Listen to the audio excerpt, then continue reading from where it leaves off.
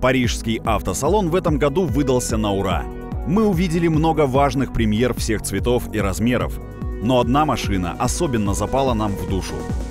Автопанорама продолжает освещать события главного автомобильного праздника этой осени. И за моей спиной, пожалуй, самый интересный экспонат этой выставки, а именно абсолютно новая Mazda MX-5. Этот автомобиль мы ждали очень долго.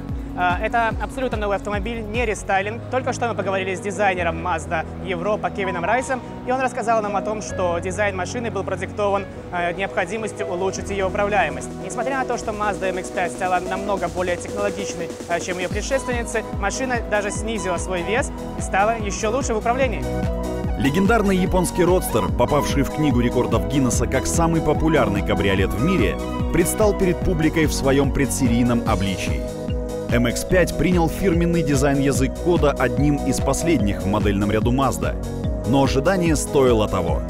Полностью новая передняя часть избавилась от милой улыбки предыдущего поколения и теперь выглядит вполне грозно. Сзади появились круглые фонари в ретро-стиле, а капот стал длиннее и мускулистее. Внутри тоже все по-новому. Минималистичная панель с примитивными органами управления уступила место более современной консоли с обязательным в наше время цветным дисплеем в центре.